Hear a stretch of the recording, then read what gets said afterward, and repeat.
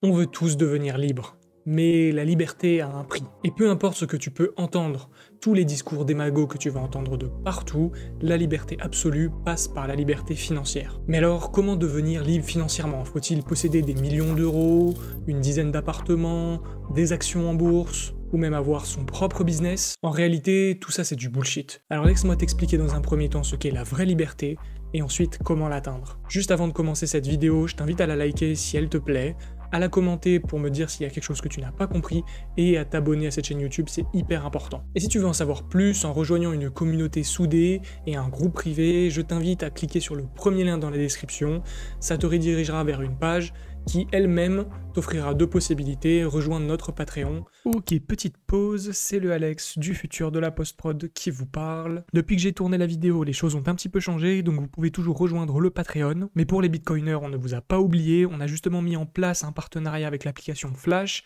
qui permet de souscrire à des abonnements en Lightning. Pour cela, il suffit d'utiliser un wallet compatible avec Noster. Vous pouvez cliquer sur le premier lien dans la description, je vous explique absolument tout. Mais avec ces deux possibilités, vous pouvez nous rejoindre soit en dépensant vos fiat, soit en souscrivant un abonnement en Bitcoin via le Lightning Network. Allez, je vous laisse avec la vidéo. On va donc dans un premier temps commencer par quelques définitions pour savoir de quoi est-ce qu'on parle, et dans un second temps, bien évidemment, je t'expliquerai comment atteindre cette liberté absolue, et donc cette liberté financière. Commençons par nous poser une question. Est-ce que l'argent fait le bonheur? Sincèrement, je ne pense pas. Par contre, est-ce qu'il est possible d'être heureux sans argent? Je ne pense pas non plus. Comme souvent, ce n'est ni noir ni blanc, la vérité se situe dans des nuances de gris. Et toute personne qui vous affirmera le contraire est soit très malhonnête, démago ou n'a même pas conscience de ses propres privilèges financiers. Au final, le pouvoir de l'argent est assez simple.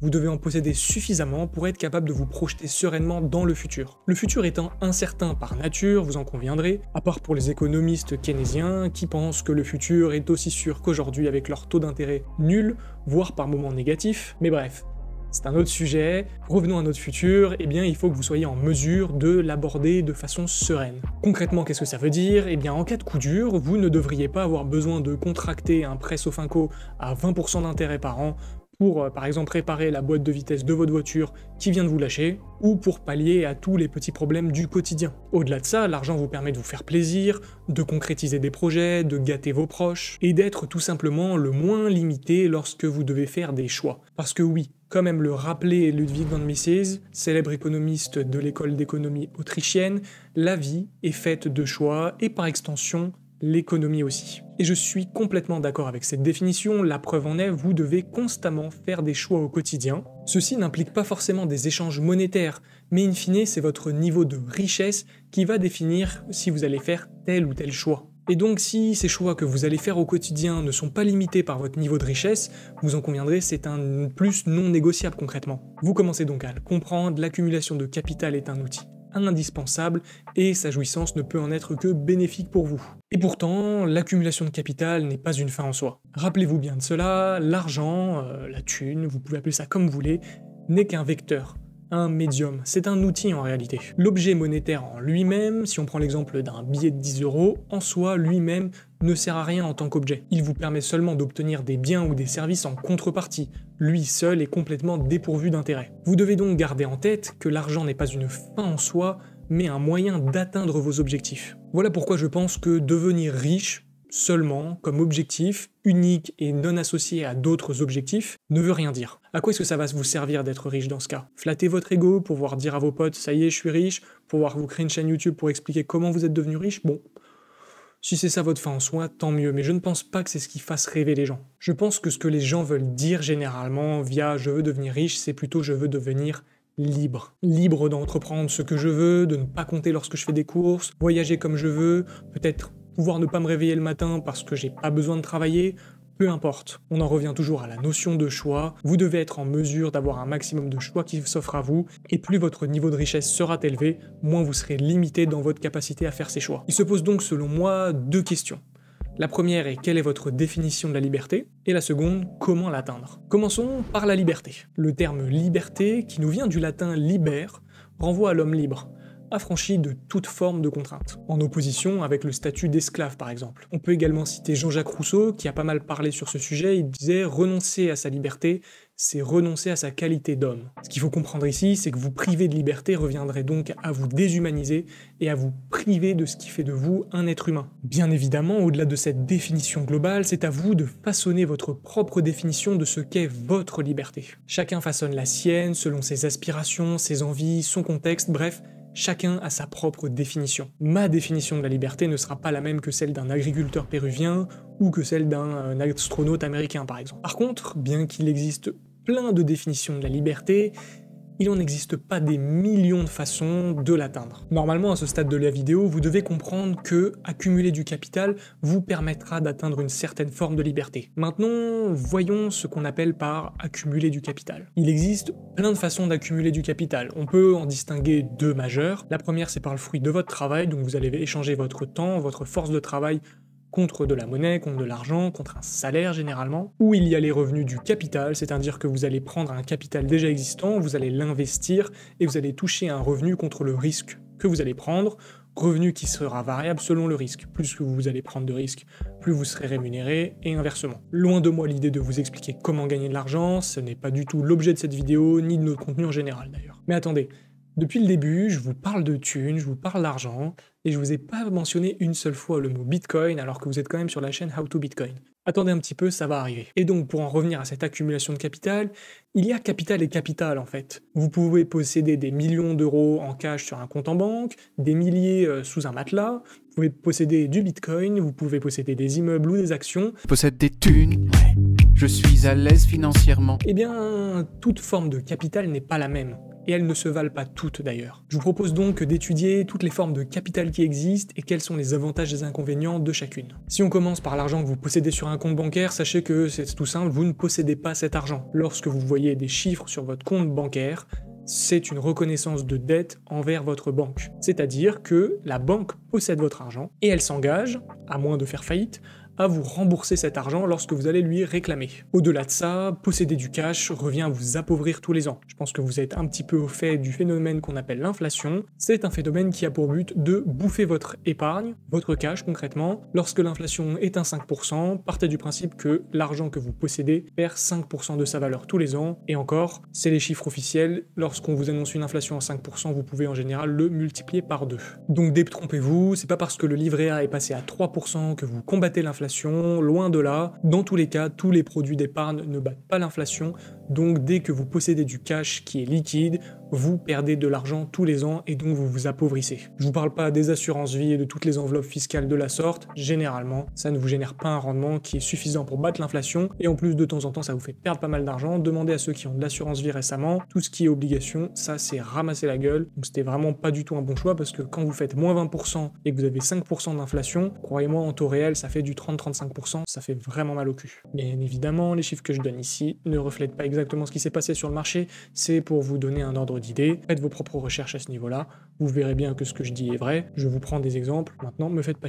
Donc, je pense que c'est suffisamment clair. Le cash et les produits d'épargne, on oublie. Je n'appelle pas ça être libre de posséder des millions d'euros sur un compte bancaire que vous ne possédez pas et qui fondent tous les jours. Après, chacun pense ce qu'il veut. Personnellement, ce n'est pas ma définition. Et d'ailleurs, c'est assez triste. Parce que si notre société, notre économie était basée sur une monnaie dure, comme par exemple l'or fut un temps, eh bien vous n'aurez pas besoin de penser à comment investir votre argent pour ne serait-ce que préserver votre épargne, parce que qui dit monnaie dure dit donc monnaie qui ne se déprécie pas dans le temps, et à l'inverse qui peut même s'apprécier dans le temps. Je sais que c'est dur à imaginer parce que ça fait 50 ans qu'on ne connaît plus ça, mais il fut un temps où en fait le simple fait de garder de l'argent vous permettait de conserver le fruit de votre travail et donc d'épargner sereinement sans vous dire que tous les ans il y allait avoir entre 2 et 10% qui partent en fumée. D'ailleurs, si les sujets d'inflation et d'impression monétaire vous intéressent, j'ai écrit un article à ce sujet que je vous mets dans la description. Attention, finissez cette vidéo et après vous pouvez vous le mater. On a d'ailleurs plein d'autres articles hein, qui sont liés à l'inflation, l'impression monétaire, le rôle des banques centrales et l'économie en général. N'hésitez pas à aller faire un tour juste après. Maintenant, passons à ce qu'on appelle les actifs financiers, que ce soit des titres de dette, des actions, des ETF, des obligations, bref, peu importe, il en existe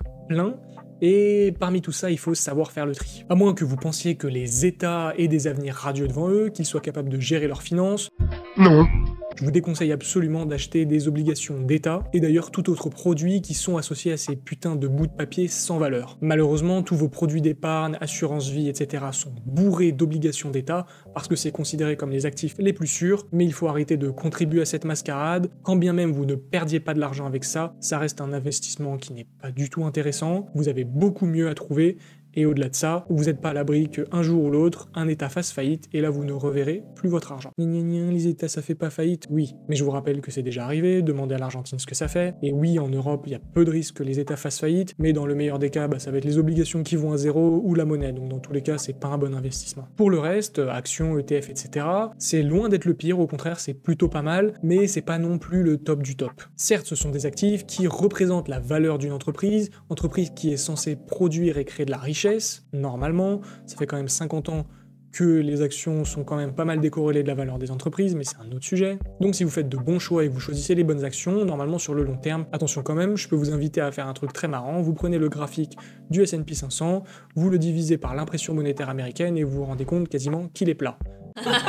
J'adore rire. Et oui, quelle surprise, en final, euh, la valeur des entreprises en 50 ans n'a quasiment pas augmenté, elle a plutôt stagné, tout simplement parce qu'en fait toute l'impression monétaire finit dans les marchés financiers, et donc en fait c'est juste une gigabulle tout ça. Mais concrètement, c'est mieux que rien, il veut mieux posséder une action LVMH plutôt que de posséder du cash. Par contre, c'est son mode de détention, le mode de détention donc des actions, qui me pose un petit peu plus problème. Comme vous le savez, vous êtes obligé de passer par une banque et donc par une enveloppe fiscale comme le PEA ou le compte titre par exemple. Vous ne pouvez pas acheter une action, euh, un petit bout de papier que vous détenez et que vous mettez dans un coffre bancaire, donc quelqu'un est obligé de les détenir pour vous et donc c'est un intermédiaire financier, généralement une banque. Or, en faisant cela, vous êtes à la merci de toute décision étatique qui n'irait pas dans votre sens. Parce que c'est notre projet Hausse de la fiscalité, confiscation des biens ou toute autre règle liberticide qui irait à contresens de vos intérêts, comme c'est souvent ce qui se passe, et dans ce cas-là, vous n'avez pas le choix. Vous ne pouvez pas réellement posséder ces actifs, donc vous serez soumis aux mêmes règles que tout le monde. Si demain, par exemple, la flat tax en France, qui est de 30%, passe à 45%, eh ben vous n'aurez pas le choix. Vous devrez la payer, et du coup, bah, vous allez perdre un, un bon paquet d'argent. En fait, vous êtes propriétaire de vos biens, d'un point de vue de la loi, mais vous ne les possédez pas réellement, et cette notion est très importante pour la suite. À votre avis, existe-t-il un actif que vous puissiez réellement posséder, qui ne dépend de personne et qui est programmé pour s'apprécier dans le temps? Les plus vieux d'entre vous diront peut-être l'or, et ils auraient pas tort de dire ça. Cependant, de par sa nature physique, l'or est difficilement transportable, et puis c'est quand même assez difficile à vérifier. Si vous voulez vérifier de grandes quantités d'or, euh, bah, à fondre et à déplacer, c'est quand même pas hyper pratique. Donc oui, c'était l'actif le plus dur et le plus dépourvu d'intérêt industriel, et donc le meilleur candidat en tant que monnaie mondiale de réserve jusqu'à ce qu'il se fasse ridiculiser. Mais par qui, vous me direz? Attention, roulement de tambour, bah oui, c'est Bitcoin, euh, on avait compris. Bitcoin est rare. Il n'en existera jamais plus de 21 millions. Bitcoin est incensurable. Personne, dès lors que je suis prêt à payer les frais de transaction, ne sera en mesure de m'interdire ni de m'empêcher de faire une transaction sur son réseau de paiement. Et surtout, personne ne pourra m'empêcher de détenir des bitcoins, il me suffit pour ça de mémoriser 12 à 24 mots, et je possède mes bitcoins en totale souveraineté. Bitcoin est apolitique. Aucun État, aucune institution, ni aucune personne ne peut influer sur son protocole et prendre des décisions au-delà du consensus social qui existe. Et j'insiste là-dessus parce qu'il y a beaucoup de concurrents qui essayent de faire pareil, or personne n'arrive à la cheville de Bitcoin à ce niveau. Bitcoin fonctionne également depuis 15 ans et c'est loin de s'arrêter. Et enfin, le monde entier commence à loucher sur Bitcoin. Vous n'êtes pas sans savoir qu'il y a eu récemment l'approbation des ETF spot Bitcoin aux États-Unis, Bitcoin commence à devenir mainstream, les gens en parlent, et de par sa faible liquidité disponible, si le monde entier commence à réellement comprendre Bitcoin, son prix a de grandes chances d'exploser. Attention, ceci n'est pas un conseil d'investissement, vous êtes responsable de tous vos choix, renseignez-vous, ne prenez pas mon avis en tant que tel, blablabla. Bla J'aimerais maintenant conclure, mais le problème, c'est que j'ai pas grand chose à vous dire. À part le fait d'acheter du Bitcoin si vous souhaitez être absolument libre. Bien évidemment, je ne vous recommanderai jamais de mettre tout votre life saving d'un coup sur Bitcoin. Loin de moi également l'idée de vous dire de mettre tous vos œufs dans le même panier, diversifiez-vous à un minimum, mais faites en sorte d'en posséder suffisamment pour, dans un premier temps, profiter de ces futures hausses quand elles arriveront, et puis surtout de son caractère inarrêtable en cas de scénario catastrophe ou liberticide. Je n'ai pas du tout envie de vous vendre la peur, les médias mainstream le font déjà très bien, mais vous commencez à sentir que de plus en plus, les États prennent des décisions qui ne vont pas dans le sens de l'accroissement de nos libertés, alors il vaut mieux s'en prémunir, comme on dit, il vaut mieux prévenir que guérir. Au-delà de ça, Bitcoin est sans aucun doute le meilleur actif que vous puissiez posséder aujourd'hui. La rareté inhérente à son protocole en fait de lui un actif hors norme que vous ne retrouverez nulle part ailleurs, ni dans les autres cryptos, ni sur les autres marchés financiers. Retenez bien ça, Bitcoin est unique. What's the second best? There is no second best.